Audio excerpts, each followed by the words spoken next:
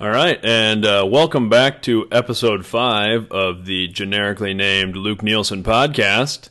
I'm here with, again, one of my favorite people ever, and our first return guest Yeah. on our fifth episode because I just have that big of a network.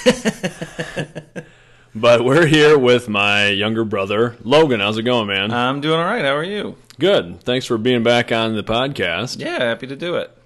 And uh, it was pretty cool. We talked about wanting to do a follow up um, after our first one. Because the first one I think we recorded, it was either at the end of July or like beginning of August. Yeah, somewhere there. Yeah, because it was right after like we did some vacation stuff. So I think it was July, maybe, kind of right in there. I think it was tail end of July, and then it, we released it like right away in August. Something August like that, 3rd yeah. or 4th, something like that. And, you know, it was kind of the first thing I put out with kind of this media thing that I was Yeah. starting a little bit. And the response to your, you know, episode of the podcast was kind of crazy. I mean, just in terms of the number of people commenting and coming up and talking to me about it. Well, and and uh, me too. I was getting you know messages on Facebook and some random emails from people I didn't really know, but who had said they you know and people who I think mostly knew you anyway, but like had heard the show and wanted to. I don't, some of it was like thanking me for talking about it, which which I always feel weird about. I appreciate it, but it's always like it's like I I was I was just like here's you know, here's what's going on with me, uh, and, and and and then people wanted to share their own story, and and it sounded like a lot of people who had never shared it really with anyone or had never really been open with it, and you know, and I know you got way more of it than I did. Like, Yeah, it was crazy. And if you haven't listened to the first episode or don't know what we're talking about, it may make more sense to go back and listen to that one first. Logan talked a little bit about some of his challenges with um, just mental health stuff. And the response from a lot of people was pretty crazy because I had the same thing. You know, I would get a text from somebody or an email message, or somebody would come up to me out in public and just be like, "Hey, you know, that was really cool of your brother to talk about that," and Yeah. and said things, you know, like made me feel like I wasn't so alone. I've dealt with these things for a long time, and it was pretty humbling in the sense that it was, you know, people who I know, some people who I like felt I was pretty close to or whatever, and then didn't know that they had been having some of these experiences. Well, yeah, and, and I think we talked about that a little bit in the last one about how you know because I had been doing some material about it in my stand up, and I had had people coming up to me and like thanking me for talking about it, and it it had become clear that you know. Like I, I don't want to make it sound like talking down on like our community or anything, but it's like I know there's things just we're not as open about, like in kind of more rural, small town area. There's just stuff we're not as open about. And then like, you know, I live in Chicago where and I'm in a comedy community where everyone is so open about it. Like like, you know, cuz it's you know, you're at an open mic and it's, you know, 20 comics in a row being like, "Man, so I sure do hate my life." Like, you know, it's like so everyone's so open about it there. It's like so it's so it was kind of, you know, so I already knew that was the case, but it just after just people hearing just a frank conversation about it, like how many of them like I think hearing jokes about it's one thing, but then just hearing someone talk about it must have opened up a lot of I don't know, like I don't know, just kind of the floodgates of people wanting to maybe actually share their experience, which is very cool. Yeah. Yeah, no, it, it was really cool and just yeah, I think made it easier for other people. Hey, somebody else is talking about this in a pretty candid way and it's okay to talk about it. Yeah, and and that's you know, and that's something I've just made a goal since then. I mean, it was already a goal before that, but really since then, seeing how badly some people just needed to be able to say like, yeah, everything's not all right all the time, and you know, and and just everything I've gone through and stuff like. So I've you know, just friends of mine too. I've just tried my best to just be there more and more available to have people say those things because yeah, that was one of the you know I talked about it in the last one the hardest part about it is saying it for the first time. You know, that's what led to me having multiple breakdowns and felt like I was losing my mind was that I just never once said like, "Uh oh, like things things aren't going okay. This is things are wrong, and I want to feel better than this." Yeah. Well, and I uh, thank you to you not only for sharing that, but it was kind of funny, you know, as we recorded that, you kind of talked about like, well, what's your goal with all this? And I didn't really have a super defined like outline of goals. I'm like, yeah, this just seems like something I want to do, and kind of uh, everybody and their cousins doing a podcast and things now. But it was like It's weird if someone doesn't have a podcast. Yeah, to me, to be honest, like little little less so around Well, here. it's around here, but like, yeah, if I meet a new person in Chicago, it's just like, you, you don't have a, a podcast. What are you wasting your life? Like, what are you? yeah, it's like not having a cell phone. Exact- you yeah, exactly. but uh, you know, for me, one of the nice opportunities, or kind of what I wanted to do with the podcast, especially, is to get away from some of the small talk things that are you know, kind of our day to day life interactions with people. Yeah. to have a little bit deeper conversation. And it was nice because not only us having that, but it kind of lent itself to that with some other people, where other people would come up and and you know, and not in a a, a negative way where I shouldn't say negative, but like not in a way that they were complaining or anything, but they were just kind of like, "Hey, I've had anxiety too, and this is kind of you know what I went through," and like that's cool. You know, that's a real conversation to have with somebody, and things that you maybe realize a little bit how little you know people, what they're really going Yeah. through. Absolutely. So I just think that was a really cool thing from my end where to start off all this media stuff like yeah that was kind of the the goal even if I couldn't articulate it was like hopefully make some sort of connection with people in a way where they're like yeah this is okay Yeah, and I mean, and that was you know when you had talked to me about doing it, you know, especially at that point where where I was at, where I was still really going through the the middle of it, kind of. Why I was on board about doing it is one, I was just still in the place where just talking about it helped me more, you know. So there's the mm-hmm. selfish reason of just like I feel better when I get to talk about it, and and then yeah, I don't know, like we said that going into it, it's like you know, you know, worst the worst case scenario is no one hears this and whatever. I got to just we got to just talk about it, you know. Yeah, And yeah. the best case scenario is other people heard it and connected to it, and I don't know, just felt like they weren't alone. It's you know, not I didn't you know, we you know I didn't do anything special, and like I didn't. I don't know if I helped anybody or anything, but I, you know, you know, who knows? Maybe being able to reach out to us and say like I have it too, then that was able to launch them into telling you know someone close to them that Yeah. hey, this is you know. Because I remember sending you a, a podcast last year when I was going through. It was an interview with a comedian I loved called uh, Gary Gulman. Yeah. And I sent you that of just being like, because I couldn't articulate it myself yet, and I said, "This is this is how it feels in my brain." yeah yeah everything he's talking about, like I get and I'm going through, and and that helped. And you know, so I don't know, maybe someone was able to send this to somebody and be like, "This, this is what I'm trying to tell you that I that the words don't come out." Like, yeah so I don't know. Well, yeah and I think it did do that and I'm a hero, is what I'm saying. What I'm trying to say. is- no, no, That's- that's God, right. no, God, no, that would be that would be the worst. That would be the first one. He was so vulnerable and like really open stuff. The second one, he's real full of himself now. that's right Tur- turned it all around and now he's gone the I liked other him way better when he was sad. I don't know, he's just arrogant now. Sorry. Well, That's funny. And then I'm also just feeling bad for people listening to this, especially if you're listening to it with headphones, and then both my brother and I laughing at the same time because we don't have quiet laughs in our family. No, and I've and I'm sure it's still loud because these are powerful mics. I've, I've done I've podcasted enough that I've learned when I laugh I need to turn the f away from it to, to laugh, but I know it still carries. It still fills a room. so I'm like I'm leaning back as I start laughing, but I've been I got confronted at an open mic once. Uh, because I was I, my friends were on stage and they were just killing me. I laughed real loud, and someone just turned to me, an audience member turned to me from their seat, and they said, "That is not your real laugh." And I just said, "Sorry, it really is. I'm sorry. It's this loud." it's, yeah, this is what's going on. Yeah, no, I get that, and uh, you know, coupled with my voice, like that's not your real voice. Like, oh no, I sound Mm-hmm. this dumb, and I laugh that way. So just apologies all around. Yeah, the, the best joke, uh, a roast joke, a friend of mine, Pete Casey, said about me at roast roast. He said, uh, "Logan Nielsen laughs so loud so people don't forget he exists," and it's, it's one of the greatest jokes anyone's ever said about me. That, that's really funny. Yeah.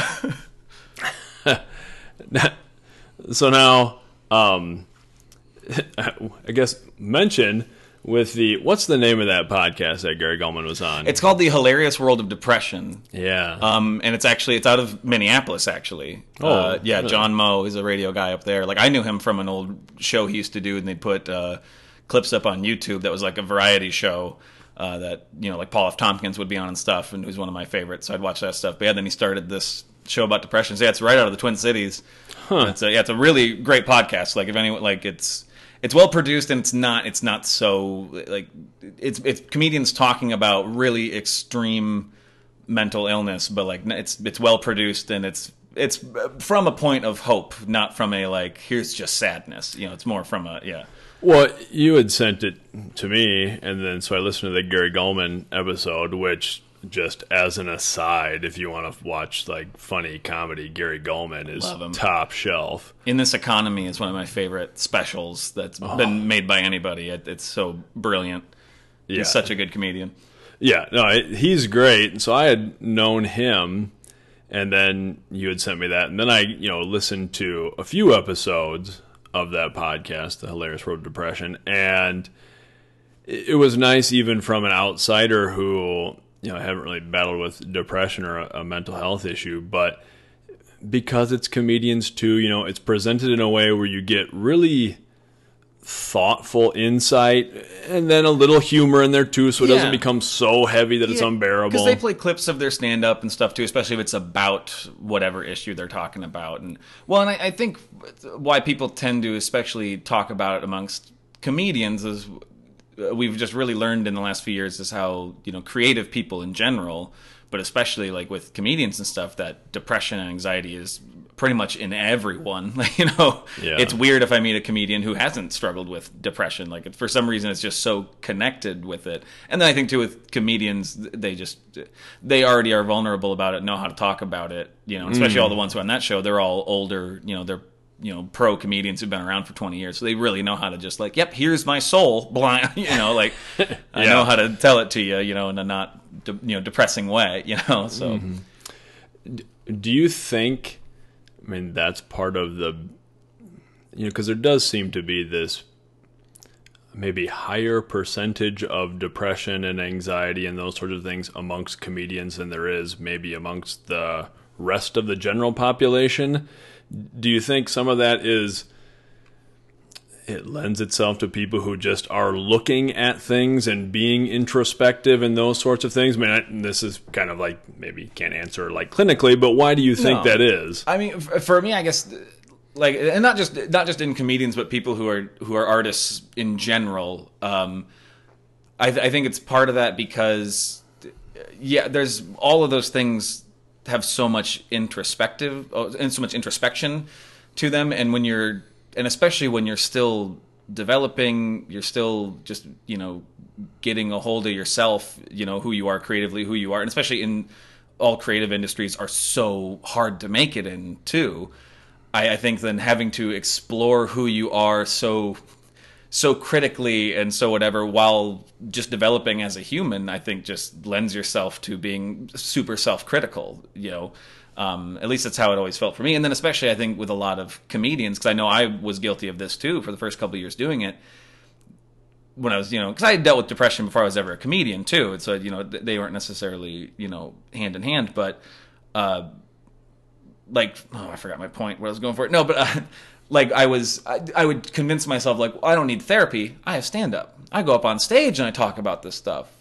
So therefore, I'm fine. And I, I know so many comedians who still think that way, and especially younger, newer comedians who they're just starting to get there. Especially, I see it a lot with comedians who they start getting some stuff, they start getting some notice, and then they burn out so quickly because then then they get more critical. The more mention they get, the more notice they get, and then they kind of fall apart. And it's because you convince yourself, like, no, no, no, I'm I'm talking about my depression on stage, so I'm I'm not hiding it. Well, it's like you're also still not dealing with it. Like I was, I never had actually processed anything I was dealing with till this last year. you know, Yeah. and I've been doing stand up for six years now. But like I would just be depressed, but I would convince myself, like, no, no, I I get it out, but I, I wasn't really. I was getting Yeah. the fake version. It was a placebo, you know, tricking me into thinking that I was I was being open about my problems when really I had hadn't confronted a single problem that I had within myself at all Sure. you know so i don't know if that's part of it is you convince yourself that you're that since you're getting it out in your art that you're dealing with it which just makes you bury it deeper and you know and hide it in you know more hard to get to places maybe you know i don't i don't know but Yeah. Um, yeah, I don't know if that's part of it, but yeah, I mean, it's you know, it, and yeah, there is just being you're trying to look at everything from a different point of view, I guess. I, I don't know if that's part of it too. Yeah, I couldn't answer clinically by any means, but Yeah. I don't know. Well, I just think it's interesting when I've talked to you, and, and then you know, it seems to be something we've always watched a lot of stand up, like our whole lives, mm-hmm. and you know, I still watch a lot. And of course, you being in it, I've never done it, but you get a little behind the scenes look, or and it just seems to be so much depression, or those. It seems to be a real frequent topic amongst comedians. It's a frequent and topic, and and it, I think it's because too, you know, you you a little bit lose track of who you are when you know you need to be you know on you know on the stage you like even if you are the most open vulnerable comic you know and even me you know i tend to just talk about myself and stories and stuff like that but it is a different version of you. Yeah. and that's that's the version that people love. You know that's and that's you know that's something i've really dealt with you know in therapy in the last year of just like if if i feel like i'm not funny to someone i feel like they don't love me. Like i feel like if i can't and then not even just on stage just in life if i'm not getting someone to laugh if i can't you know tickle them in that way then they don't they do not love me. And when i don't feel funny then i i feel worthless. I and that's and that's way more deep rooted than just career. I've always felt that way since i was younger. It was always like this is this is my only way to be noticed to set myself you know aside from everybody else. Because i never i never liked the way i looked. I never thought i was good at anything. I felt like i didn't have any skills except for i knew how to make people laugh. I knew how to be funny. I knew how to be entertaining so that was what especially when i wasn't feeling good about doing comedy i wasn't feeling good about myself and any of that. I i truly felt i had nothing to offer to the world. I had nothing to offer to anybody. And that was where then i got to the depths of being like well then i don't even want to be here anymore because i feel like i serve i serve nothing to anybody. Hmm. You know so that's that's how deep and bad it gets when when you associate applause with love you know? Like that's you know and you know because it's like every woman who's ever fallen in love with me is because i made them laugh you know. Anyone who's all the friends i've made is because i was funny and you know especially in the last you know six years all the friends i've made and you know the women who have i've dated it came from doing stand up so if i'm not doing that then i have no life i have no life i have no friends i've i have no one to know anymore which completely disregards you know the the man sitting across from me you know my family you know who- Yeah. who knew me way before I was ever funny or anything, you know, but that's just how how bad it can get and then put a career on top of that too of where it's like also I need to make money off this. Yeah. I need this to be financially stable and my sole source of love. like, that is a lot to put on jokes. That's a lot to put on jokes. like, Well, and I, I think you're absolutely right, and that makes a lot of sense to me from a comedian's perspective. And I think people do that in general. Like we kind of put ourselves into these boxes, Yes. or other people do because because maybe it is excuse me maybe it is the first time that like hey this was the thing that made me a little bit popular this is the thing that got girls Yeah. interested in me or whatever so this is the horse that i'm riding and if that goes away or something conflicts with that then it's a it's a big problem because that's that's my Yeah. deal that's my my gimmick Yeah, absolutely, absolutely, and it's yeah, any any job. I mean, that's why there are some people who you know they if they lose a job, they feel like they've lost everything that they they don't matter to the world anymore. When a lot of times you can just get another job, you know, you can be Yeah. okay. But it's that you know that's I think that's kind of we're all trained that way. We're trained to like you're supposed to have your purpose, whatever Yeah. it is. When really, I think that's such a uh, that's a bad way of thinking. You know, I, I think in life, some people it gets them through and makes them feel like they have more drive or whatever. But your only real purpose is to like be here. I don't think there's an inherent purpose to humanity except for I don't know be here. Like there's really you know what I mean? Like Yeah. if you know I I truly don't think I was put on this earth to be a comedian. Like no, just like that's what I gravitate towards. What I always wanted to be since I was a kid. You know, mm-hmm. so to look at it, I think from a otherworldly point of view is then where you get in those. You know, where then it's like if this is gone, then oh no, I don't matter anymore. Yeah. You know.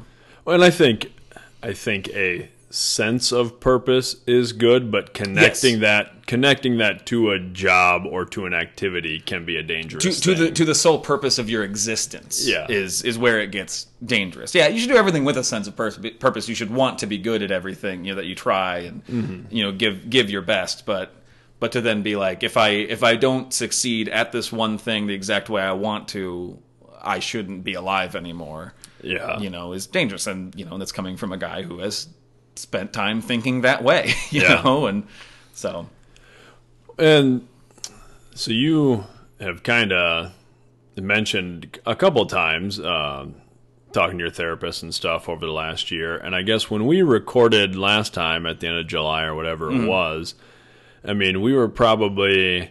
I don't know, it was a month or six weeks kind of removed from maybe what like your low point was. was one of my worst breakdowns. Yeah. Yeah. And since then, you know, not to say that everything's giggles and rainbows and things like No. that, but I think th- things are going better. Yeah, they feel like it. So, I mean, how how are things going, or what have you found to be like sort of helpful? I guess just kind of where are you at now from the last podcast? Well, well, since so one of the things that I didn't mention in the last podcast because I mentioned how I'd had that breakdown and then I went, you know, to the Grand Canyon. I just then decided to do some traveling just to like get out of Chicago, get out of my head, whatever. One of the things I didn't mention though was at that time why I ended up leaving and doing that stuff was uh, I lost my health insurance and I couldn't cover my therapy anymore. So I was suddenly now without the one tool that I felt like was really helping me because I wasn't enjoying doing stand up anymore and I was fully I was kind of like decided I was going to quit you know and I'd really just I didn't know if I was going to move back home or whatever I came back home for 3 days and decided oh that I can't do that Uh, I love mom and dad but it was just like yeah no moving back into their basement ain't going to fix it um so so then after you know doing that stuff at the Grand Canyon, which was you know a great experience and just got and did just get me out of my comfort zone and just doing something else. Um, I got back to Chicago and I was immediately miserable. I had a couple days where I was just ready to like break down again and was just like, great, it's just right back to where it was. I had forty four dollars in my bank account because I'd spent so much money on the trip. You know, didn't work for like a month. Um, and then I I don't know, just I like I wish it like it was more useful to say, but I just at that moment I was just like, okay, I can either start feeling better about life, or I never will. It, it like it was just like a I was the first time I made like an active decision in my head where I was just I just thought about it and I was just like, so this will just start back over if I let it, and then I'm gonna just be worse off than I was because now I don't have my insurance. I have less money than I did, so I'm gonna have to like really work to get back, you know, in the black. Like I'm gonna have to, you know, I'm gonna just, you know, just make myself feel even worse and just spiral down even further, or I can just not. like, I know as silly as that is, but like, because you know, I hate when people just say like, just don't be depressed, and like, and it was not that easy, but it was just like. I finally was just like, you know what? I got to go do this trip, which was amazing, and I got to come back. You know, I got to spend time with my family, who I love, and I, you know, came back and immediately had friends who wanted to hear about the trip and stuff. And I just decided to, I made just the conscious decision, I'm like, I'm gonna just enjoy that stuff more. And I actually decided I'm, I'm not gonna worry about stand up. I'm not gonna worry about career right now. I have it, and my job was willing to take me back. They said that from when I left on the trip. They're like, well, yeah, we'll come, we'll have you back if you want to come back. So I'm just like, you know what? I got people who want the best for me and are supporting me. I'm going to let that be enough right now because that's just what I feel like I need in my life. Um, and I don't know. I just started kind of. I, I made my goal instead of like I want to become this level of success at comedy or whatever. I just I decided I wanted to be a better son and brother and friend is the decision I made. And then out of that, then out of the blue, I I did. I got totally handed just a bunch of stand up gigs that kind of fell into my lap and just having that point of view and just I don't know I just I just enjoyed the luck of that and then started enjoying performing for the first time in 2 years. Yeah. you know and so I've now I just you know I'm finishing up my busiest fall you know I've ever had you know in stand up and it's just felt fun rather than oh I, by this time next year I need to have this goal accomplished. It's like no I'm just happy to be enjoying stand up again. So don't know if that really answered your question but that's but that's that's where I'm at right now is I'm just I don't know just happy to be around and doing what I like doing with people I like I don't know Well, I think that's a perfect answer, and you know, I'm curious if it's evident to people listening to this because it's evident to me, even just as I've you know talking to you, especially face to face, you know, back for the holidays and stuff here. It seems that you are doing a lot better job of or, or finding ways to sort of mitigate the anxiety a little bit. Like, not that it's gone away, but when you're getting to a state where, hey, I'm getting anxious about this, I'm getting worked up, where in the past, which I think this is the case with a lot of people, mental health issue or not, is then you start to do your behaviors start to make it worse. Like you, Yes. you, you make decisions that actually pile onto it. absolutely And it seems to me, just from an outside perspective, that now you're kind of taking a little bit of time at least to be like, whoa, okay, I'm getting kind of worked up about this. I'm getting kind of Yeah. anxious. Let me stop, pause, not pile anything more on it, and then I can kind of get through it. Yeah, a big thing I started doing was giving myself permission to like just have a night where I don't have to worry about anything. And I used to always have those nights too where I'd end up I'd end up not doing anything, getting anything done I wanted, and then I would just be beating myself up for not doing it. I just wasted another night sitting here when I could have been out doing whatever. Um, but I started when I start feeling myself get anxious when I'm busy and stuff. I, I start like, you know what? Okay, I look at my week. Wednesday night, I have nothing. Wednesday night, I'm gonna stay home. I'm gonna watch a movie. I'm gonna play video games. I'm gonna not worry about solving my life that night because that's what it, when it used to be. The anxiety would start hitting me, and I'd be like, "Well, great. I'm feeling this way. I need to. I need to fix something. I need to fix my life." It would always just come down to I just wanted to solve my whole life's problem, which is not possible to do. And if you think of your life as a problem, it will never be solved. you know, if, if all you think of is like I have this and then, like none of it's where I want it to be, well, you can't fix it in an afternoon yeah. you know, at all. You can't fix your career, your love life, all your friendships, everything you ever want to do. You can't fix that in an afternoon. You know, and so I just I started just giving myself permission to just have like a night where I'm just like I'm not going to worry about anything. I'm going to I give myself permission to be lazy, to just like have a night to just chill out, you know, and just you know rest my mind. And you know go to bed early if I want to, just, you know, lay on the couch with my dog like and that just started helping. Just even though i was already having you know nights where i wasn't you know i'd have you know full days where i wouldn't shower and get in good clothes and i would just sit on the couch and do nothing. So it's weird that my solution was to kind of still do that. But it was different when it was an active decision of just like nope i'm gonna have a little you know a little vacation day. Like i just i started treating them like it's a mental health day of just like and that and that's something like people I think need to do more is like don't go go go especially the more anxious the anxiety in the same way. When I would get anxious it meant I had to do more to alleviate the anxiety when really thinking that way made it worse and then I would just crack and then I couldn't move you know? But instead of being like I'm feeling anxious. I've already done a bunch this week. You know what? I've earned a night to sit down you know? Yeah. Well, I think that active decision part is so important because, like you said, I think I think everybody does that, and I'm guilty of doing it where you feel like I should do so many things. I have all this Yeah. stuff that I should do, and because there's so much of it, I basically won't do any of it, and then Yeah. I'm just upset at myself because I sat and watched YouTube videos for an hour instead of doing something.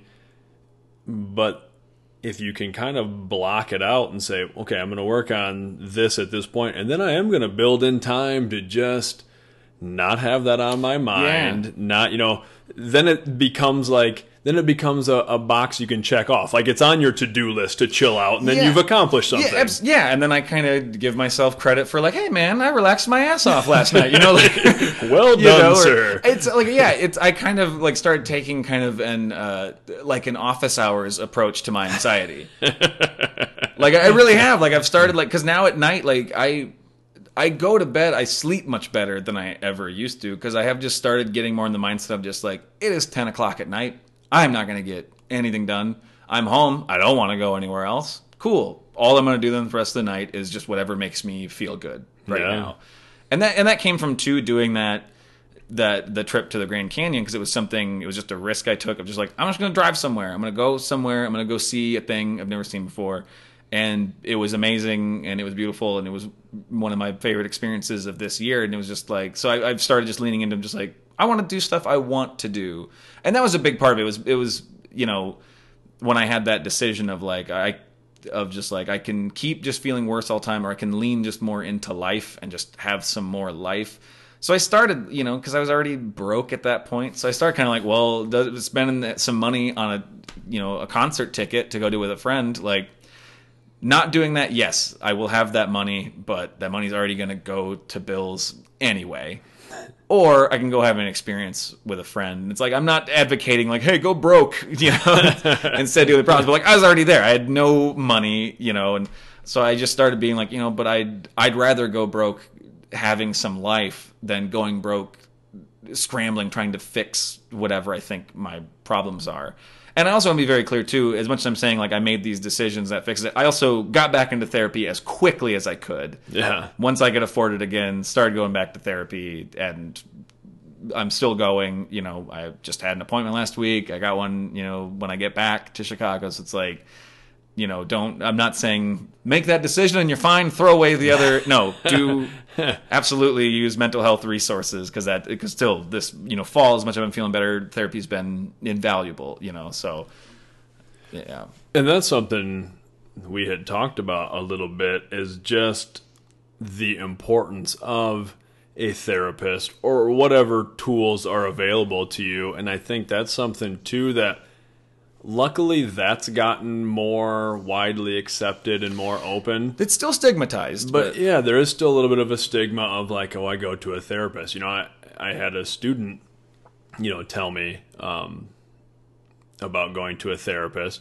and I, my first reaction is like, that's good. That's an awesome Yeah. thing. You know, even even if you're not going through anything super life altering or some you know big mental health thing, it's a good thing. You know, why would I think I heard it on a TED talk or something talking about we take care of our bodies, we exercise, we do all these things and focus on our bodies, mm. but we don't take a lot of time to focus on our mental. You know, you, you would go if you went to a trainer at a gym, nobody would think twice about it. You'd be like, "Oh, good, you got a trainer, you're getting yourself in shape."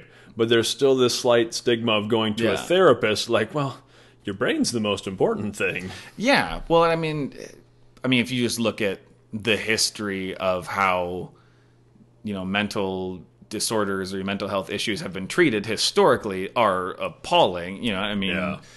you know, ice pick lobotomies and stuff. You know, it's it's come out in recent years. A lot of those studies, like those are people that could have just been helped by medication, like you know, but. There was just like, hey, when you when you ram an ice pick in someone's eye, it calms them down. Well, yeah, because you destroyed part of their brain, like you know.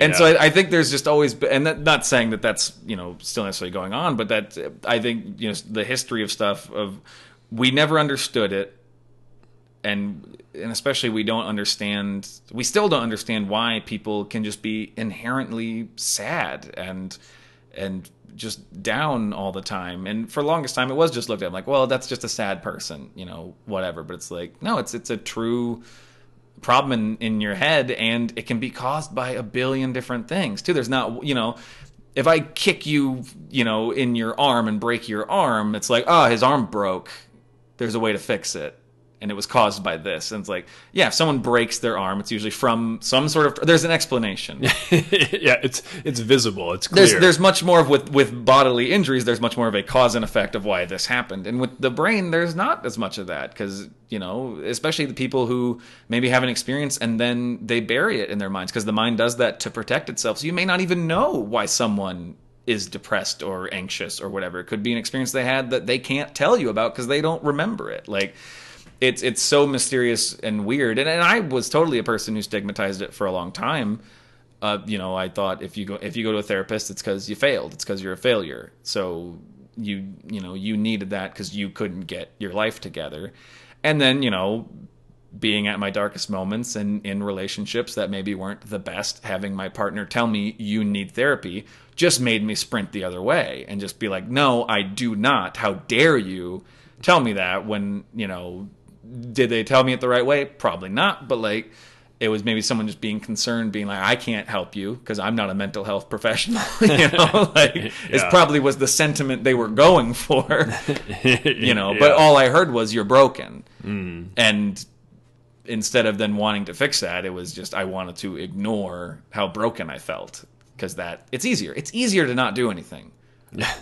It's yeah. so much easier to just not do anything, you know. Yeah. And just if maybe if you ignore it enough, it'll just be fine. And then you tell yourself like, well, once I get this thing, I, I get this promotion, or uh, once I do this show, or you know, once I get to go to this place, then everything will be fine. And it's that's never how it works. It never works that way. There's not there's not there's not one thing that will ever solve your life.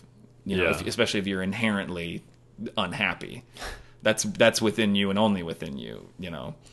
Yeah, and I think like I feel like I'm rambling more now than when I was actually anxious before. I think you're good, but I think that's an interesting point too. Is not only from a like personal perspective on yourself, but when interacting with other people. If somebody's arm is in a cast, you're not gonna like ask them to play baseball or something. You know what I mean? Like it's right. a, it's apparent that there's a problem there where and you're definitely not going to be like, "Hey, just don't have a broken arm." Well, yeah.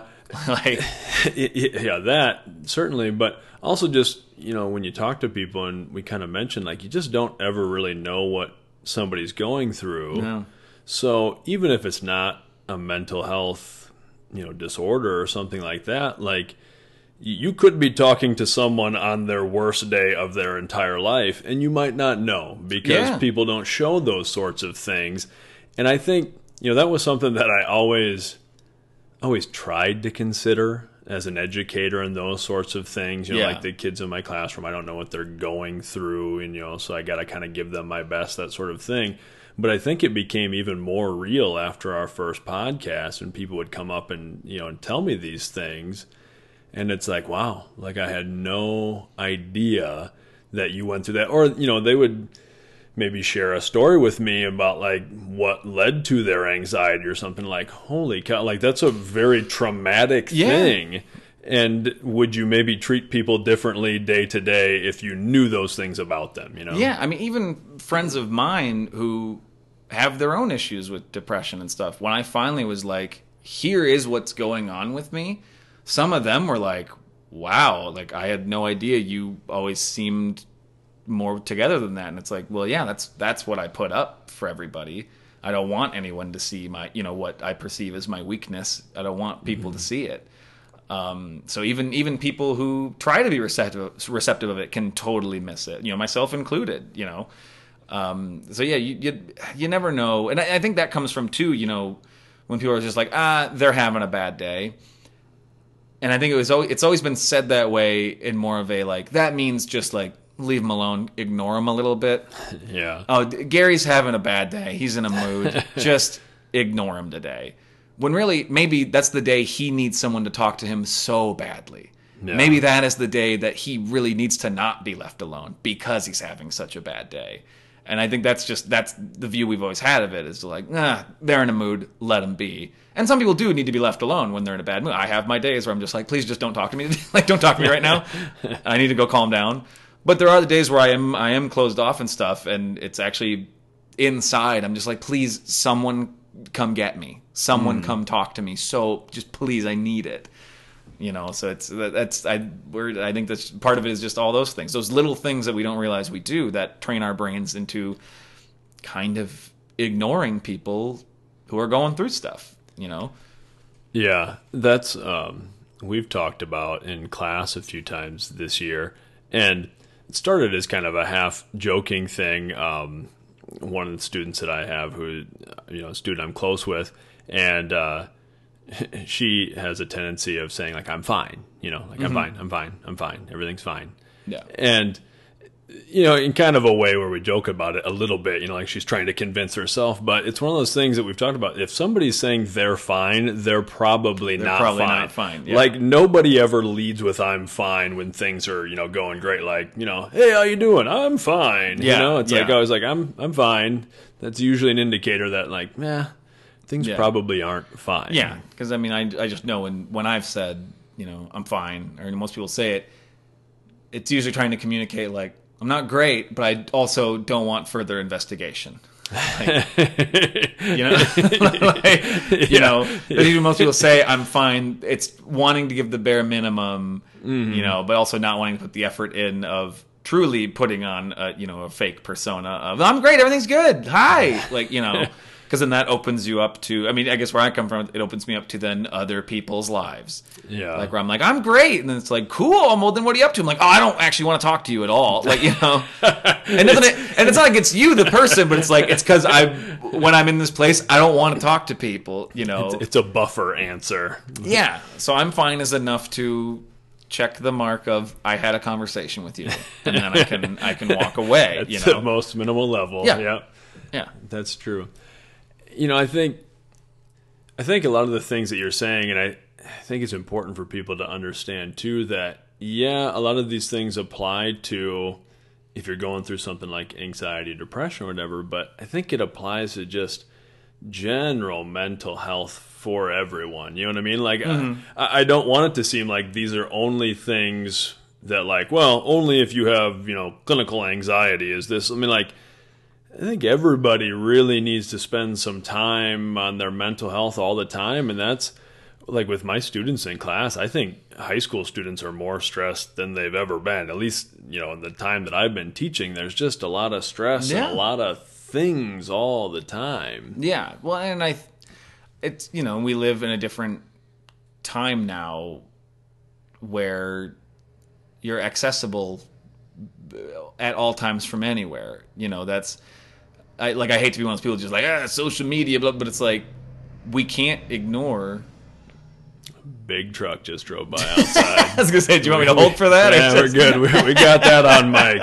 Somebody, somebody's proud of their Uh, yep, truck, yep, yep. and it is officially documented now. So good for you. yeah, someone's awesome. We'll keep it. Uh, remind everyone we are in rural Iowa, so Yeah. it's all good. Um, but no, so I hate to be one of those people that like, you know, ah, social media and you know, it's changing everything. But it is changing everything, and we can't ignore the effect it's having on humanity.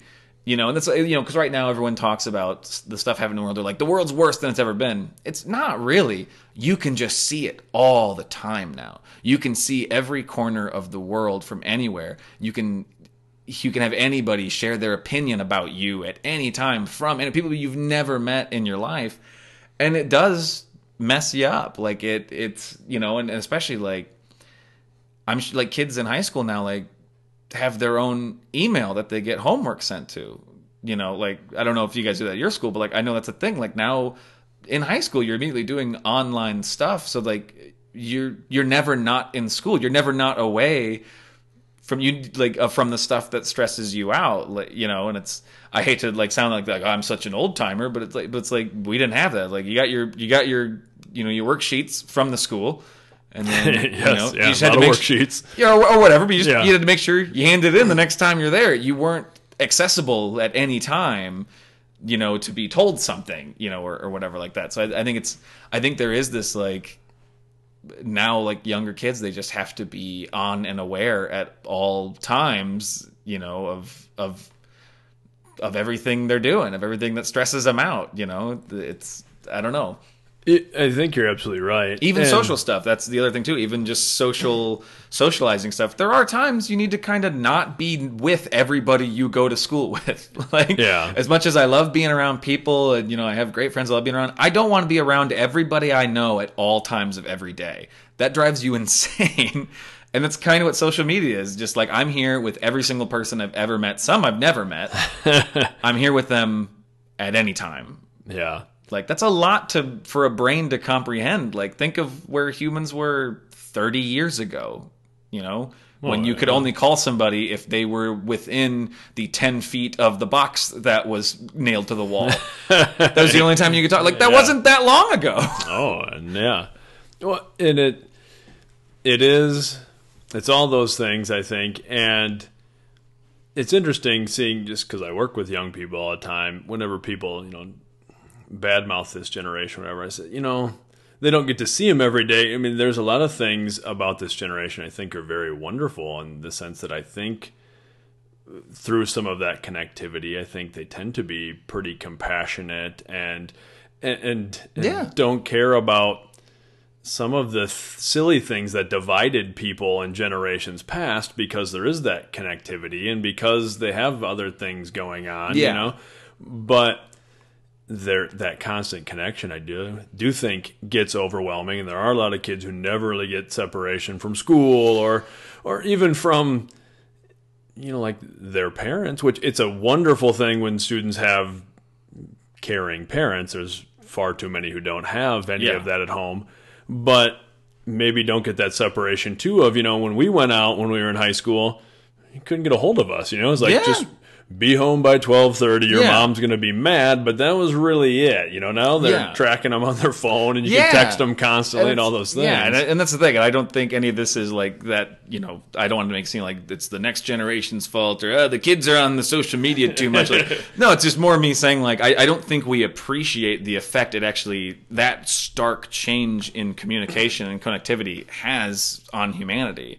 Because even for me, I'm not like a huge social network person like even at my most you know being on facebook and stuff was still way down from what a lot of people were but one of the big things I did for myself was I just I turned a lot of stuff on my phone. I deleted all my social media. I deleted Twitter. I don't have a Twitter anymore, Yeah. which gets me razzed by so many comedians. And they're just like, "You don't have a Twitter?" And I'm like, "Yeah, no." And they're like, "That's how you get work." I'm like, "Not for me. I don't use it." Like, you know, you know, and, and you know, and I also you know I turned off you know my email notifications. I turned off the, you know the news notifications and stuff. And it's like, not that I'm saying like unplug yourself from the world, but like make sure you give yourself time to breathe that you give yourself time to just be where you are you know because I, I i think if you never do that you'll never give yourself a grounded moment and it's so easy to then lose yourself. And i and i do think of like kids who are so social media savvy or you know think like think of a kid that's really type a personality and loves getting stuff done and now they can have access to a teacher via email all the time and and all stuff. It's like it's not their fault we gave them these tools but like we gave them tools to kind of drive themselves crazy you Yeah. know like I don't know. Maybe this has reached a whole different topic of conversation than what it started with, but but I, I do I do think like we don't appreciate how it how that stuff does affect us and how we feel and how we can feel at any time. Well, I think just because we're talking about mental health in general, that is an important thing to consider in our society now. And I think I've seen students starting to push back against that a little bit. You know, where some students are saying like, you know, I on purpose leave my cell phone, you know, Yes. somewhere when I'm at home, or you know, like I don't want to be connected to this all the time, or I deleted these social media things, and I think you see that in society too, with some people who've gone to not that you need to do this, whatever, but you know, some people going to like the tiny houses or the more like um, having more experiences than owning things and like things mm-hmm. like that. I mean, so I, th- I think there is a little bit. That's just kind of way everything goes in societies. You have something new, and it kind of reaches a point, and it Yeah. goes in waves, you know. But I do think that's a real mental health thing to think about. Well, and it, like you know, just I know from my own point of view, like it makes it so easy to then compare yourself to everybody. Yeah, like oh this person's doing this. Why am i not doing that? Oh this person gets to go to this place. Why you know why can't and, and these people i maybe would never actually get to talk to because i'd never see them but here i am jealous of their life you know? Because when a friend of mine gets to go on a cool trip i want to hear about it. I want to hear the experience my friend had. You know, when I see him in person, I'm like, tell me all about, you know, going to Europe or whatever.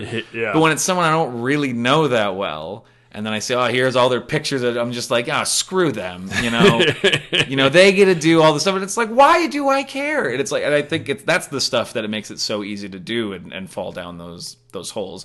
I am not a social media expert by any means. So like I've been probably talking about it ten minutes longer than I should have. But Well, no, I, neither am I. Like, I have the social media enough to post these sorts Yeah. of things on if people want to access them, and that's about Yeah. it. Like, I try to, if somebody comments, maybe once a week, like, say thanks or whatever, but that's about as far as I. And then same thing, like, I don't check it, I don't get the updates because I want it. I think the important thing is.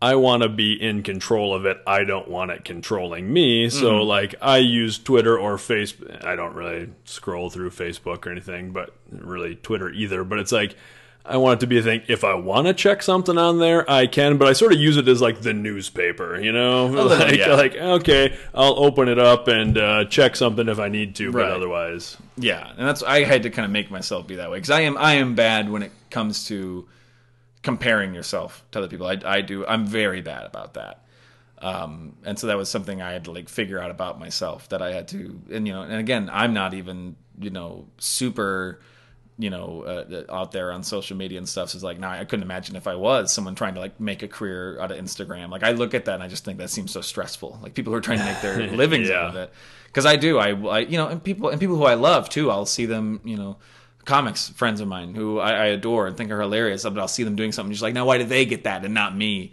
And it's like that, like, and I hate, I hate thinking that way. I hate feeling that way, you know. And so that was, you know, one of the big things I started doing was just, you know, and I made like rules for myself, like I don't check if I do check it. I not so that can't be the first thing I do in the morning. Yeah. I get up out of bed, do breakfast. You know, I I, I initially when I started like like after the last episode and stuff, I made it like I couldn't check till noon. Like I made myself no checking any of my apps till noon, even my email. Just like I'm gonna check it afternoon because I'm in my day. I'm out there. My brain's working. Because if you do it first thing in bed, then oh, here's the thing that stresses me out. Well, that makes it harder to get out of bed. yeah. You know, that was that was a big thing for me. But Well, I, I've found too, it's important to be protective of your own time. yeah, it really is. And that's something that, you know, for a while I maybe felt a little guilty about. Like if somebody, even if somebody sent me a text or something, I felt like I needed to immediately respond Yeah. or something.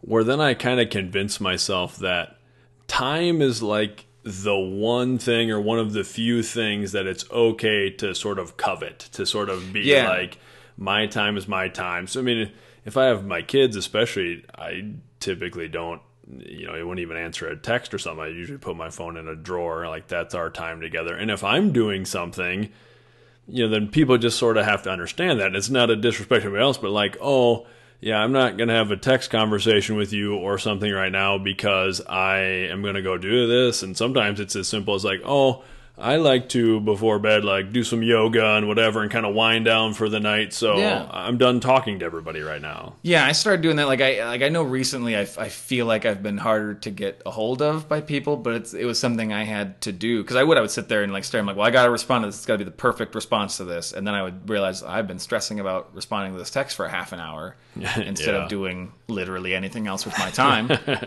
Because then when I when I finally do send the response, you know, uh, then the response I get back from the person, they're like, okay, great. Like you know, they they, they weren't stressed, but they weren't thinking like, I hope he's really putting the work in for this response. You know, it's a big deal.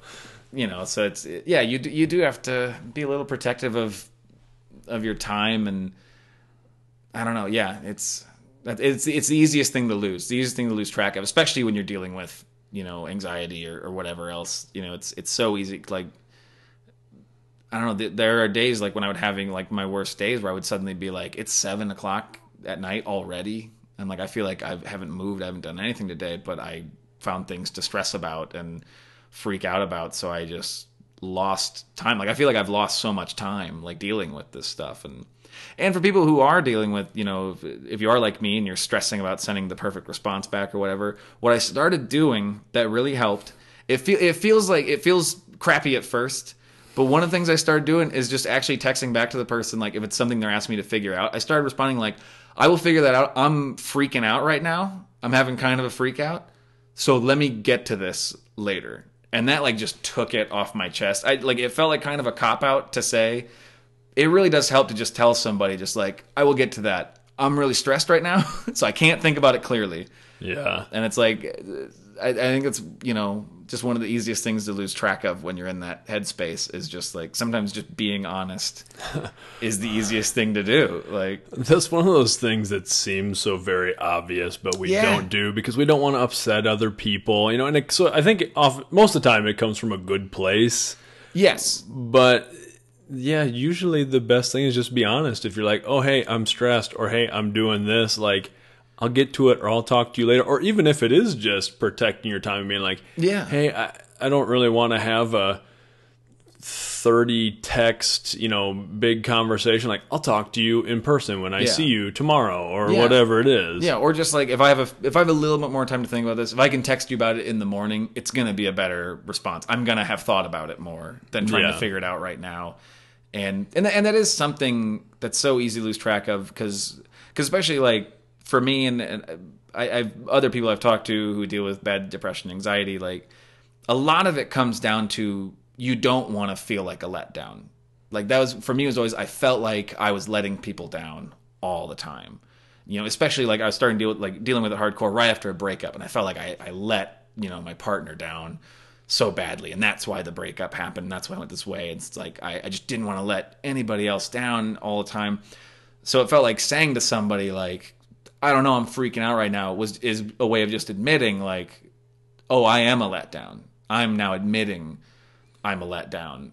And so it makes it hard to just be honest when really it's one of the most freeing things. like and it sadly, you know, I, I and I hope, you know, other people can do it before they break down. You know, I I I had to have a meltdown at work before I could finally, you know, I had to leave work early in tears to before I could actually call and be like, I'm not okay and I need help now. I need to go do something now because I'm really not okay.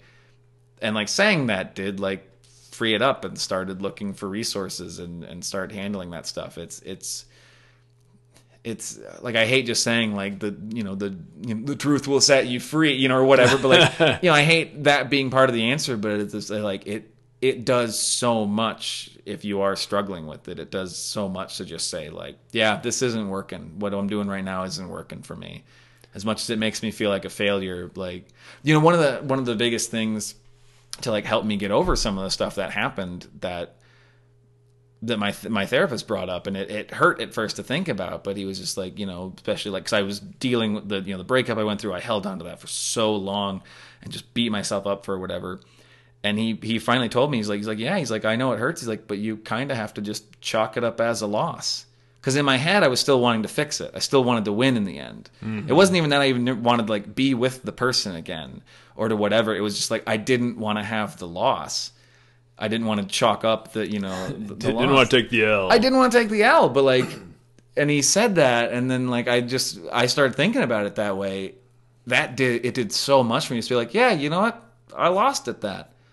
I lost at something, and I'm you know I'm not saying this will work for everybody, but for me, and I think just my personality, where I just I do not want to lose.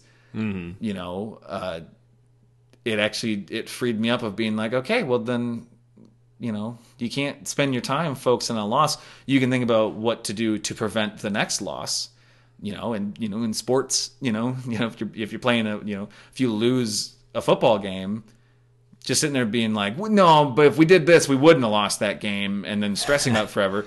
Well guess what? You're gonna you're gonna lose the next game or you're not even gonna show up for the next game because gonna be so you know you're not even gonna try in the next game. But if Yeah. you, but you do have to just be like well we lost that one. Hmm. Okay, let's try to not lose the next one, you know, but there's nothing you can do about the games in the past, you know.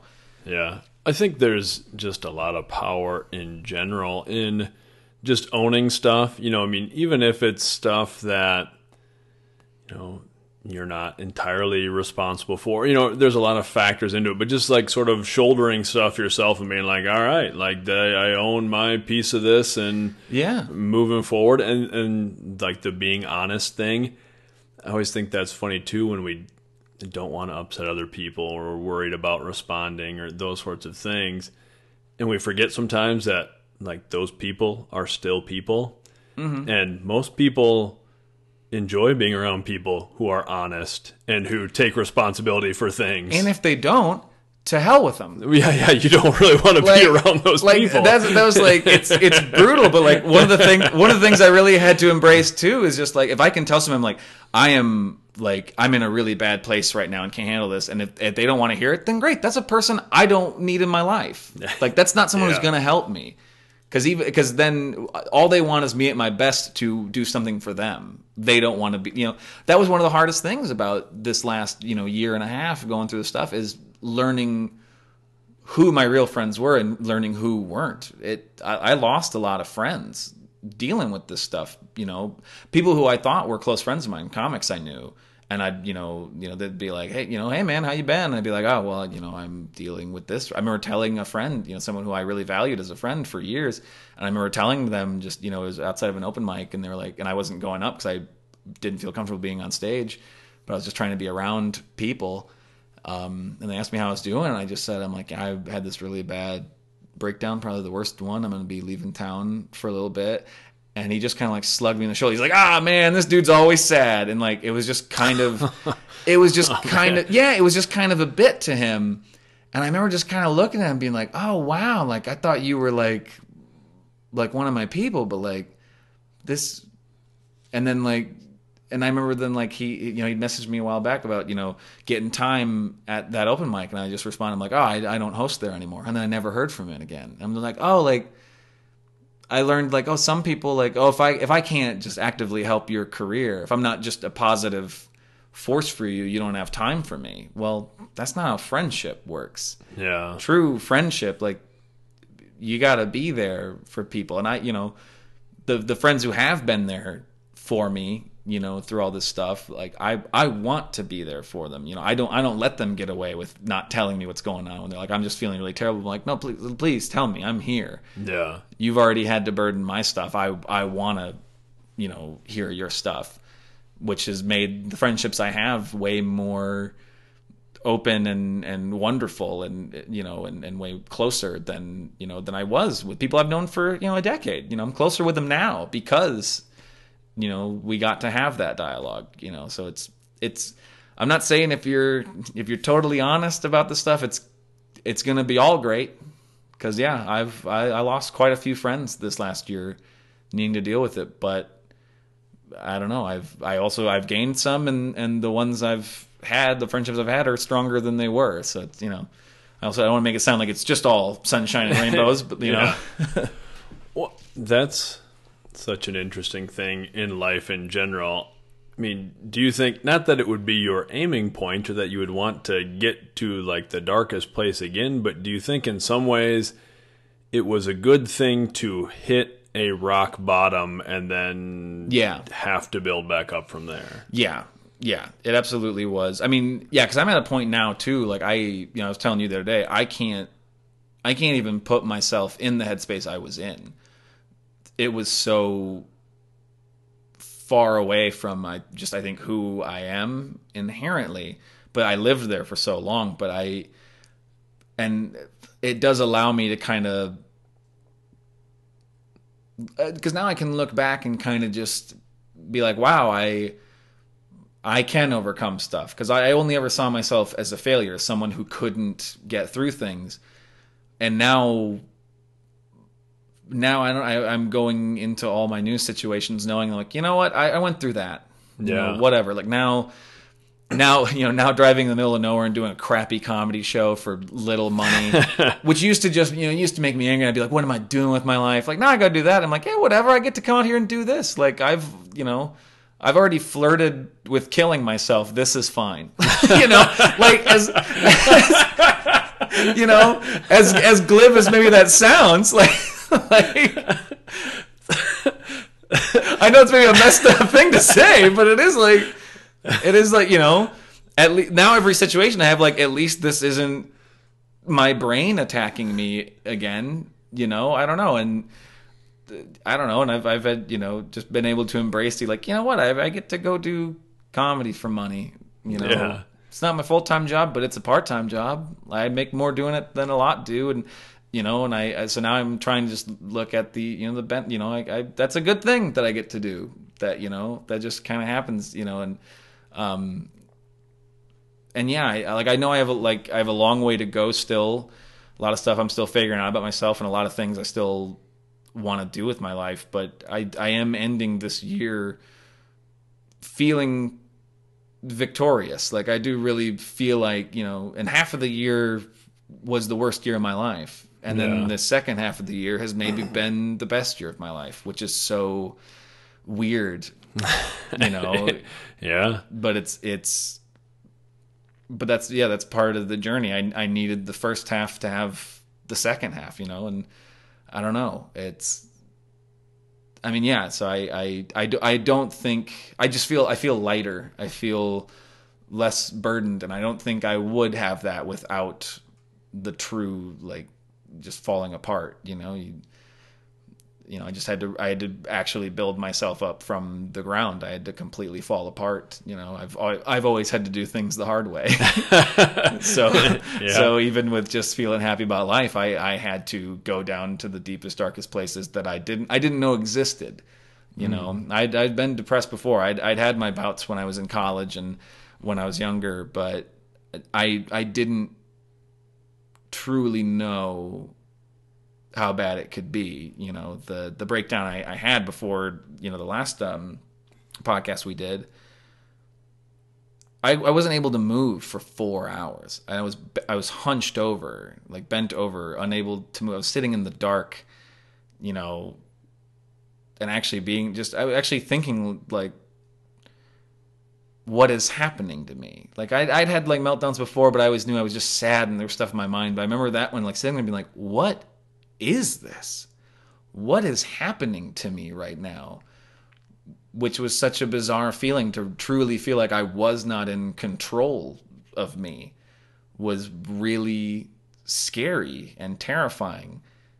But it also then did, I now kind of appreciate the things I can control. And I do feel more in control of my own mind and how I feel. And so even though I know I may fall again, right now I'm not. Right now I've got myself moving forward and I'm doing stuff I want to do and I'm feeling just good about life again. That's good right now.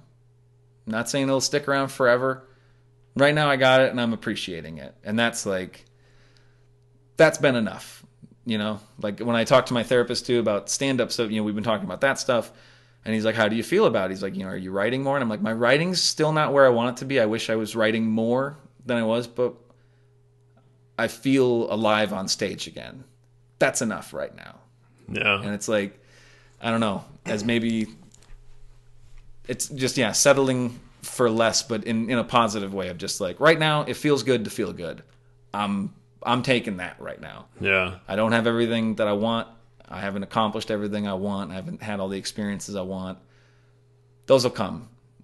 Right now, I'm okay. That's awesome. Yeah.